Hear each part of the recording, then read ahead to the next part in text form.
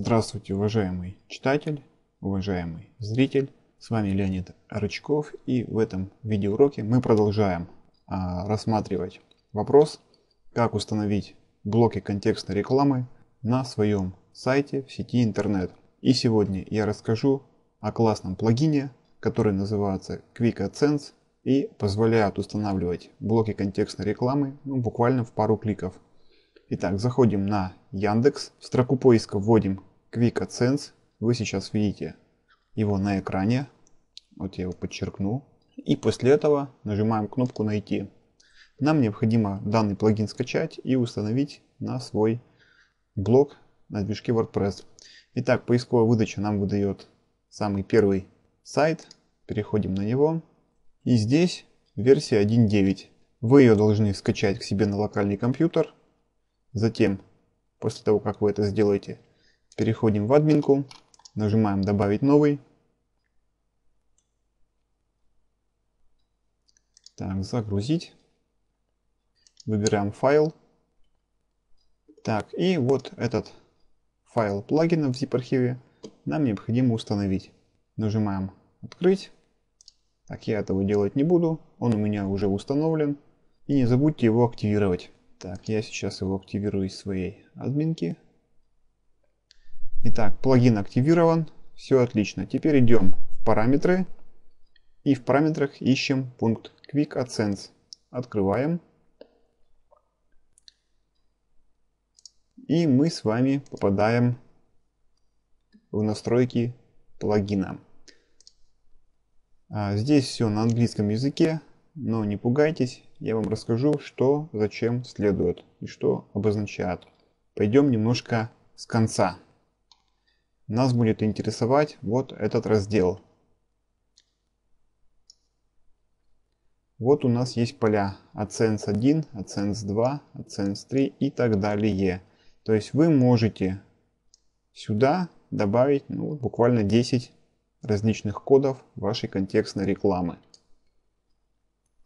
В прошлом видеоуроке я вам показывал, как настроить объявления, а сегодня я расскажу, что делать с этими объявлениями дальше.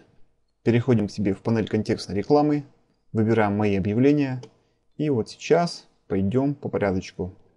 Итак, у меня есть для моего блога первый вариант, вот я помечу. Мне необходимо его разместить вверху статьи. Для этого мне необходим код. Выбираем пункт «Получить код». Вот он у нас здесь. Я его копирую. Скопировали. Идем обратно в админку блога. И в AdSense 1 я этот код вставляю. Вот он. Все, теперь мне нужно заполнить поле AdSense 2. Идем обратно. Так, здесь у меня будет... Ага. После тега mo. Так, то же самое я его выделяю, копирую, иду обратно и вставляю в AdSense 2. Есть. Иду обратно в Google AdSense. Так, и теперь мне нужен код в конец поста.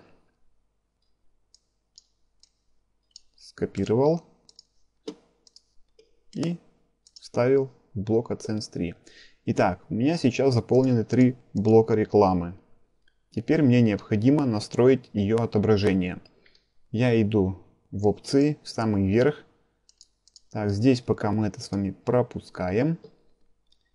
И смотрим, что у нас здесь есть. Первые три позиции, вот я их обведу, они позволяют устанавливать в начале поста, в середину поста и в конец поста. В принципе, можно ими ограничиться. Однако данный плагин позволяет получать более расширенные варианты установки модулей рекламы. Дальше, следующий пункт позволяет установить после тега more, то есть тег, который разбивает страницу, то есть и вводит в заголовке а, аннотацию. Ну, допустим, первые один или два абзаца в описании. И затем стоит кнопочка «Читать далее» или «Перейти а, на страницу». Следующий а, блок, их здесь целых 4, сразу говорю. Если вы его активируете, то есть будет здесь стоять галочка, то вы можете выбирать, после какого параграфа устанавливать тот или иной блок контекстной рекламы. Так, давайте вот сделаю так. И смотрите, вплоть до 50 параграфа, в зависимости от того, насколько большой у вас пост. Ну, если стоит галочка здесь, в этом вот поле, то еще у вас будет после поста публикация этого блока. Так, и всего вы можете сделать 4 вот таких вот. Так, стоп. 3. Выбрать варианта после параграфа. Допустим, после второго, после шестого и после десятого. То есть после этих параграфов, если они есть, у вас будет реклама публиковаться. Так, и еще есть классная возможность публиковать после изображения. То есть если у вас в посту есть 2, 3 или более изображений, вы можете выбирать после какого публиковать блок контекстной рекламы. Так, это удобно. Идем далее.